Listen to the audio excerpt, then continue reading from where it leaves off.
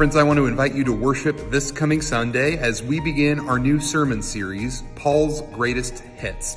We'll spend the next four Sundays reading through what are some of the most famous passages of Scripture.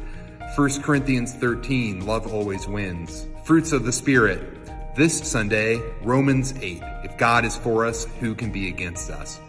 Paul is one of the great apostles, one of the great leaders and communicators in the history of the church.